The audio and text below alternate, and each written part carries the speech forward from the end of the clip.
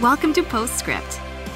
Here we hope to answer your questions and help you dig deeper into the messages and sermons at FaithBridge by talking with the teacher of the day.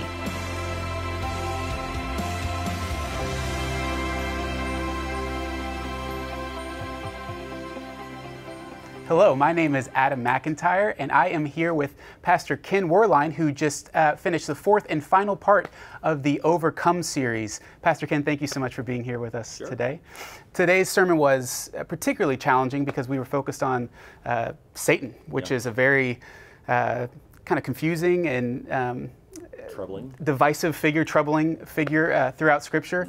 And so we had a lot of questions come in. And so um, we'll start off uh, here with a, a question about um, anger in Scripture. Um, this person uh, sees Jesus um, and he has this righteous anger at times um, in the Gospels, and then he sees throughout the Old Testament um, God gets angry. Uh, quite often with Israel. And so his question is to what extent is anger considered bad for us um, according to Scripture? Yeah, and, and what the questioner is referring to is the middle point where we were talking about not giving the devil a foothold, Exactly.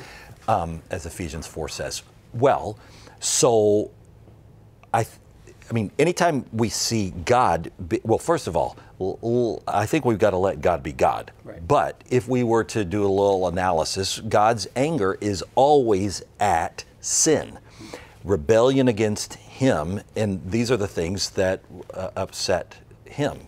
Uh, I think probably let's take the camera off of God and put it onto ourselves. So, how do we know if our anger is a righteous anger, a right anger, or a wrong anger? I think the answer is let's look at what is it leading to. Um, so I think of William Wilberforce, who was angry about uh, slavery. Right. Well, he channeled that, and, and slavery was sin. And he could see all of that and, and, and put all of his time and energy and life into dismantling that system. And so there was anger used in a godly sort of way. Now, I'm sure that there were many people who had slaves who were angry at Wilberforce or at their slaves. That's a different subject. Right. That's not godly anger. So, what is it leading to?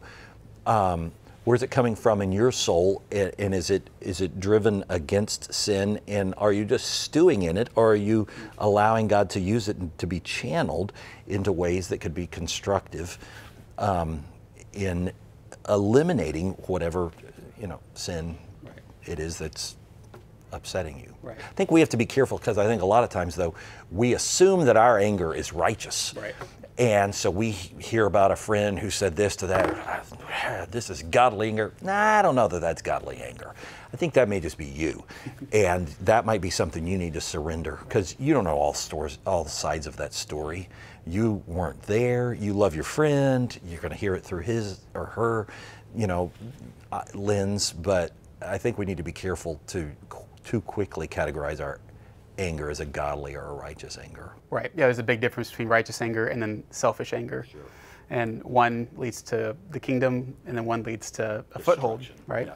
And uh, speaking of footholds, there was uh, another question that came in that was they wanted to know practical, uh, as they put it, shoe leather ways um, to shut those those windows that we may have left open. Seal 'em up. Um, right. to get rid of Well, yeah, I mean, I'd like to think that I got it distilled down towards the end of the sermon as, as clearly as I could. Let me hit those again. We've got the resource of prayer. We've got God's Word. We've got community. So let's get even more concrete. You're in the throes of temptation right now. What do you do? Close your eyes for a second and just say, okay, Lord, now I need your strength. I need your grace. I need your fortification because I'm being tempted in this moment. Number two, call your Christian brother or sister, if you're a lady, up. Uh, your accountability partner, your, your friend from your grow group or whatever. Say, hey, I'm, I'm feeling those feelings. I've got that temptation. Pray for me uh, right now. Just there's something about speaking it aloud of just it just kind of pops the balloon. um, if we'll get it out in the open, confessing, as James said, confessing our sins, uh, so that we might be healed to one another, so that we might be healed. Um, so confess it. Get God's word into it. Either you type up a list or write down a list of here's my top 10 favorite verses on temptation, uh, reminding yourself. Um, you know, here's what God's word says, or have your friend read those to you in that moment. Um, or even just say, if it's really, you know, you're, uh, would you come over? Or let me come over to your house just so I'll know that I'll not do what I'm being tempted to do. Right. Well, hopefully that's shoe leather enough. Yeah, no, it's really helpful, especially the confession part. That can be so tough to do because it, a Oh, lot yeah. of us feel Well, 'cause we're shame. proud. Right, we're, We're proud, proud. exactly. But that's actually one of the most helpful tools we have for shutting those windows. Absolutely. Uh, that's excellent. Getting it out in the open. Absolutely. Um, all right, so our next question uh, is, is kind of a philosophical question about Satan. If Satan was defeated on the cross, um, then why is it that he still has power to this day? Yeah, right. Well, theologians refer to um, th- this as the already, not yet.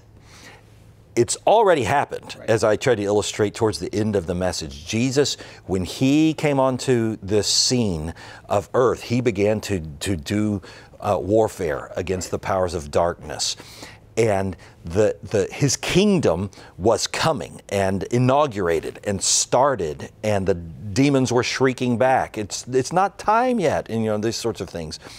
So it has started but it hasn't been completed yet. And that'll happen on that final day where, where as cs lewis said uh, that there will be no more deciding that day. That, that, that time will be past.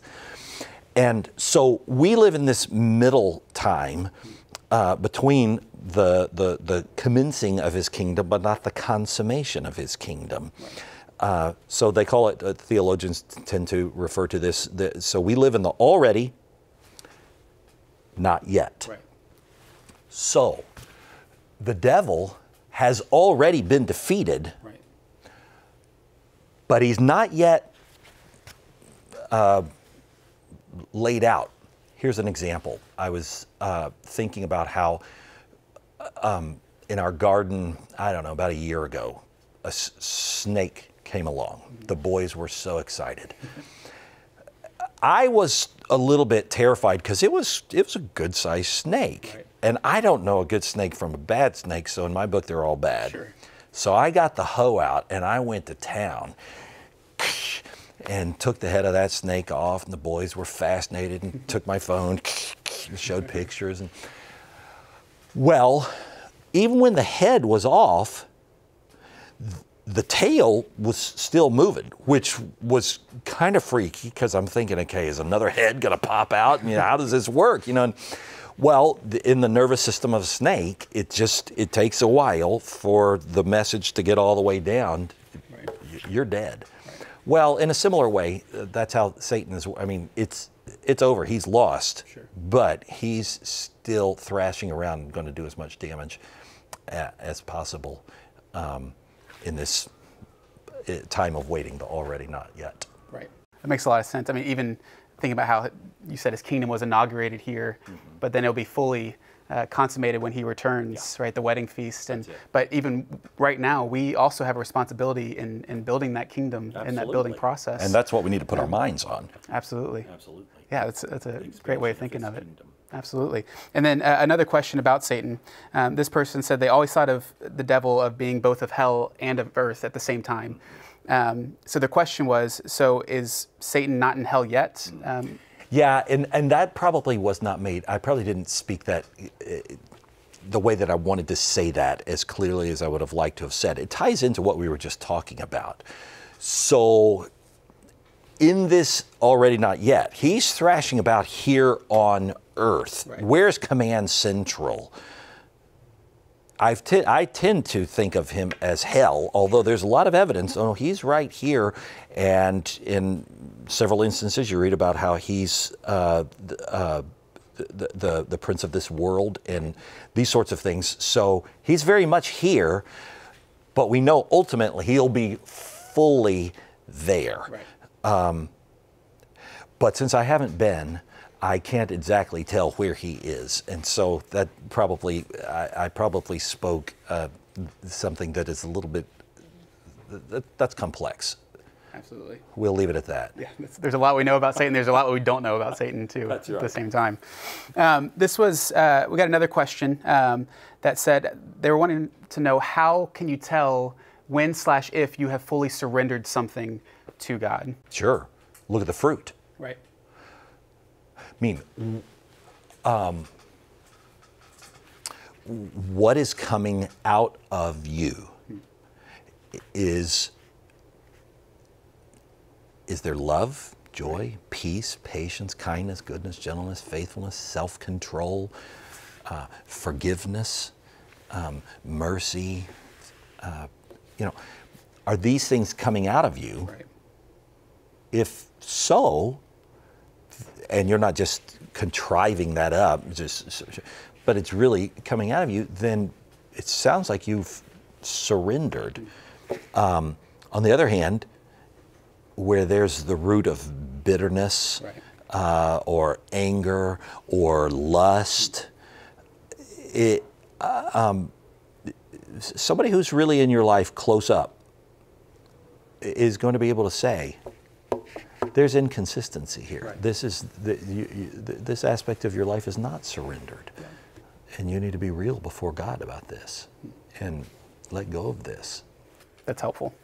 Yeah. So if you see those those uh, things sprouting in your life that aren't of the of the spirit, like fear, anger, jealousy, lust, then The proof is in the fruit. Absolutely. Yeah, What's exactly. what's coming? What's bubbling out? Yeah, that's that's incredibly helpful. Thank you. Uh, and the last question, um, they want to know how is it that um, is it possible, I guess, for Satan to influence Christians if we have the Holy Spirit? Is that possible? Yeah. Yeah, right. And you, in the- the literature, you can read all sorts of things. People like to parse out possession, um, oppression, um, you know, and, and say, well, you can be this, but you can't be that if you're a Christian. You can be not possessed, but you could be oppressed. And I read an illustration that, that I'll just personalize because I think it it answers this just very concretely and, and, and helpfully. Suppose, well, first of all, I own the home that, that we live in. So I could bring here the, the title and the deed. Right. Boom, there it is. Now you see it. Now, suppose for the sake of illustration, uh, one day in the winter, uh, the doorbell rang and uh, a, a, guy or two are standing there shivering and they say, Hi, uh, we don't have a place to stay. We hear that you're a pastor, and so we assume you're nice because our pastor's supposed to be nice. You know, and could we just stay here for the night? We're not harmful people. We're not going to hurt your family. You know, would you just give us a shelter? Just suppose I was of a notion to say, all right, just go in this room, stay on the sofas, don't go out of the room, and then tomorrow you're on your own. Right. Suppose they said, okay, thanks. But suppose the next day they said, you know, thank you so much. That was, you know, tonight it's supposed to be even colder. Um, one more night, maybe? Right. And suppose I said, okay, one more night. And then suppose they did that the next day and the next day and the next day and for weeks. And now it's been a month or two months or three months until finally my boys and wife are like, for crying out loud, when are you going to get these guys out of here? They, they, they're calling this place home now. We're getting their mail, you know, and, and, and so who would be to blame for that? Well, I would have. Why? I cracked open the door. I didn't just crack open the door, I opened the door and just let them come right in.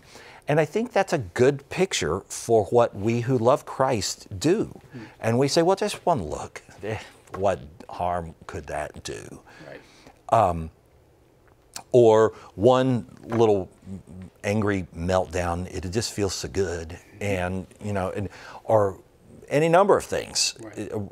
i rattled off a bunch workaholism and our image control and our popularity and we get fixated on it any of these can serve to just open the door and he just comes walking right in and we'll try to nest and stay and not leave. Right. And I think that's where we just have to have eyes wide open, um, our spiritual eyes wide open to, to just see more clearly. Absolutely. He he's always ready to, to come in when we'll even just barely crack the door open. Absolutely. Well, that's why it's so important to practice self-discipline too, because it's so easy to compromise on sin and to just think it's not really that big of a deal, but then it turns into a very big deal before you know it. Yeah, Destroys many a life. absolutely. Well, thank you so much, Pastor Ken, for joining us, and thank you all for joining us. We will see you next week. Thanks for joining us for Postscript. Help us keep the podcast interactive by submitting your questions during the morning services. Learn more at faithbridge.org/postscript.